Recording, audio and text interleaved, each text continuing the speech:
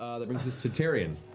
Taryon, you just watched Keyleth, your the the pinnacle of leadership, the guiding force in this whole adventure, gets swallowed by this terrible, writhing sea She monster. must it must be part of the plan. You all you're all seasoned veterans, right? This is all part of the plan, right?